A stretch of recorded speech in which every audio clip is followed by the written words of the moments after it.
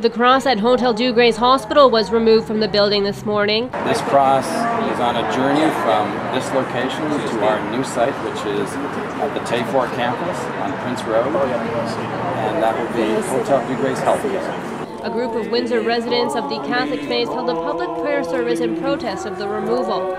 We oppose the removal of the history of this edifice, this building, which has been here for 120 years through two world wars, through a Great Depression, through charity and love for all the people of Windsor, the poor, the marginalized, who were cared for for all these years, and the sisters who built this church, not with millions of dollars, but going door to door collecting money from Catholics and from individuals who believed in in the church. But Dean says the tradition will be recognized at the new campus. The hallmark of that 125 years has been the sisters' responsiveness to community needs and their ongoing focus on a ministry for the vulnerable and the needy so the opportunity to have the programs and services on the Tayfour campus speak to that mission